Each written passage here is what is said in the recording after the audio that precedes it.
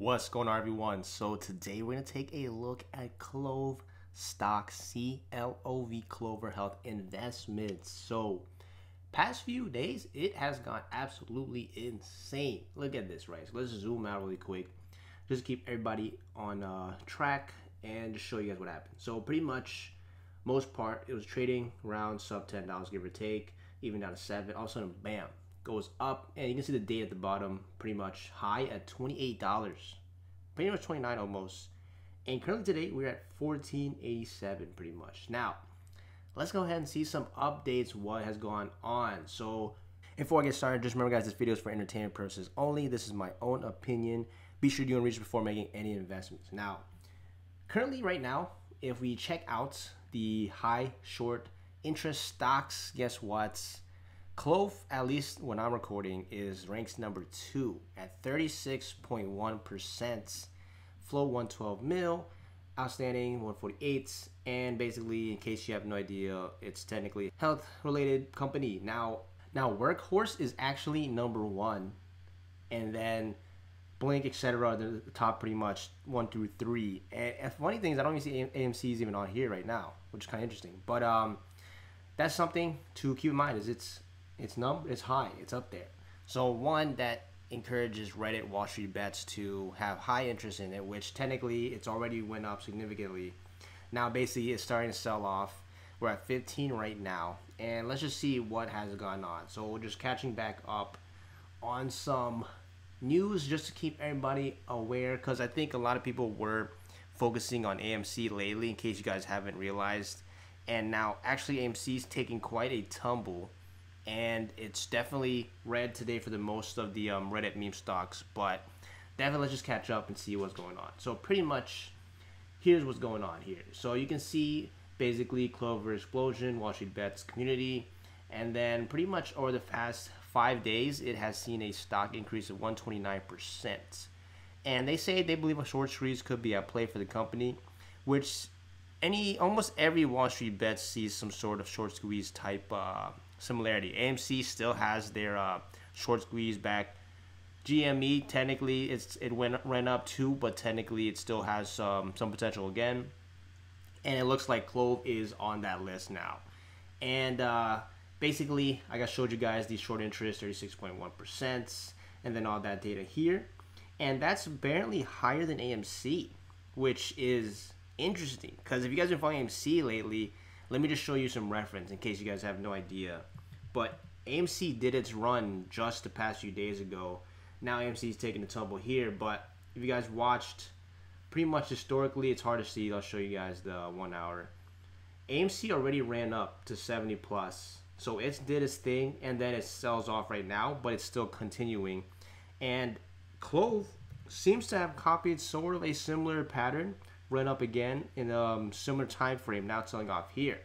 And the, the thing is with the data regarding the um, all the pretty much red stocks is a lot of them saying the shorts haven't covered yet. Now regarding Clove, I don't have that data. So maybe if you guys have it access to it, definitely comment below and check it out. But um, right now, at least, seems like all the meme stocks are following a similar pattern. So if that's the case, and technically they still have time to cover and there's still a potential for a short squeeze, then at the current price, I mean, if this were to squeeze and run up again, then that would make the price um, a attractive offer. Now, that, again, that's assuming that squeeze uh, continues and obviously the price surges up. Because if it doesn't and it takes months or weeks, or even if it actually doesn't even happen, then the price could return back to its normal fundamental value. But again, as long as I think one the volume behind Clove is up, which is actually is up quite a bit uh, today.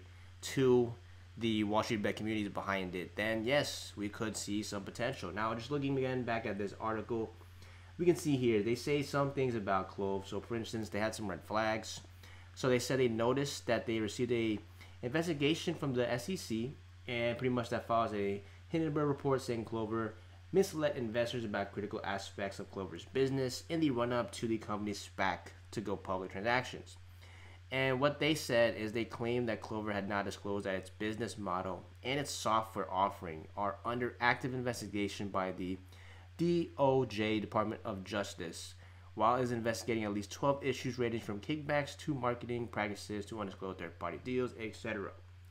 And since then, pretty much, I mean, regardless of this uh, claim, this article against them, it still ran up quite an insane amount. And you can just see the percent compared to the other meme stocks because typically once the general, the top meme stocks start to run up, the following ones seem to follow a similar pattern. So, for instance, GameStop was up 19%. AMC says 5 but AMC has been up way higher than 5%. Uh, looking back at its old uh, price point. And even BlackBerry is up 4%, but I'm pretty sure it's up significantly from its lower base. But let's hop over to Reddit. Let's see what people are doing, coming with their DD, their research here. So these are all most of the recent stuff I can find.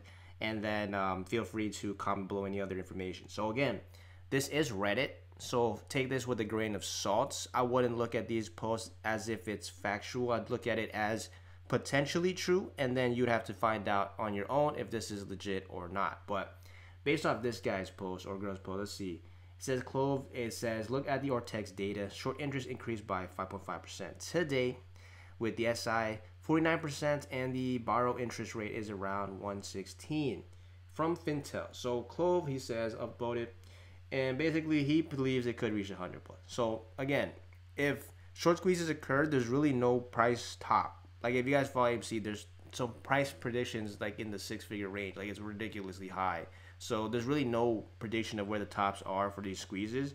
But if they occur, it's basically based off of the holders and whether or not they decide to sell or not. But here he has uh, little things right here. So one thing is he said he says that closures are a distraction from AMC and Citadel owns maximum shares, and um, which that's what I think too. I think it was a distraction or is still a distraction, but again, it's just biased based off of whether or not you're um, fan of both or you just prefer one, etc. But basically, he thinks it's not um, true, and he says Citadel owns closed shares, but less than 0.02 percent, and then pretty much you can see it owns 700,000 AMC stock, which is way more than Clove. So I think, again, this is something you can look into yourself. He talks about employees. I mean, apparently it has 500 employees, which you can verify on LinkedIn, and they're recruiting more. So definitely you guys can click and um, research into this. But I checked the comments. I didn't really see much um, in terms of like correcting him. So possibly. But regardless, let's look at this other post I saw here. Something 30 day. Now, technically there's still a few hours till lunch new time where the volume increases significantly but for it to see 30 i mean it already did it uh, already here like it already did 30 pretty much or 29 almost so you'd have to see significant volume come up out of nowhere one for it to do basically to re- reach back at that, that similar price point which could it could it could not who knows right but typically when things run up quickly it's very difficult for it to do it over and over again so unless the squeeze is actually occurring, then it's not going to just go up 30, 15, 30. Like it just that, doesn't make sense, right? But um, looking here, this guy has a post. Yesterday's drop explained and pretty much talks about more cash and community behind Clove, which yes, looks like um, the initial run up caused a lot of people to look into Clove too. But um, let's just see what this person put. So one is warrant holders. So this states as part of the SPAC process, warrants were issued that gave investors or sponsors the ability to buy the Class A stock for 11.5. This was in April, and then also they released an SEC filing about the warrants. The warrants they express or they represented less than 10% dilution, and then you can see the number that he puts, and then pretty much he said, let's assume majority of the warrants were exercised yesterday morning about 25. So if that's the case, he thinks that alone that would have driven the stock price down by three. And then good news is the cash proceeds of the warrants go to the company. So close rate for for three mil in cash process. So or in this process. So that's pretty much what he puts in terms of the warrant holders, short sellers. Let's look at them. So obviously, if you guys saw the interest, it's super high. So they have again massive short volume at borrow rates. This added to the drop from the warrants being exercised, and then pretty much paper hands too, which of course this is I think the biggest factor is paper hands because all this um, stuff, this data here, it's great and all, but in reality, it depends on who's in Clove, right? Because if you guys know AMC at least, apparently 80% of retail owns AMC. So it's basically retail controls whether or not they sell and they make a panic sell or not, pretty much. But for Clove, I don't know the data in terms of who owns majority shares. So it just depends on uh, how they feel about the stock and whether or not they think it has the potential to squeeze up. I mean, it already ran up significantly. So who knows? It did reach the high 24, 25, then again 28. So if it were to run up again, that would be amazing. I can't I can't predict the top, but again, it's just time will tell. We have to wait and see. The main factors is volume has to increase significantly, which it could potentially, but until then we'll have to wait. But do let me know your thoughts, your price predictions on Clove. Do you think it has long-term potential and you think a squeeze is going to occur? Or you think it's done, it's over? Let me know your thoughts the comments below. Subscribe, like the video, and I'll see you in the next one.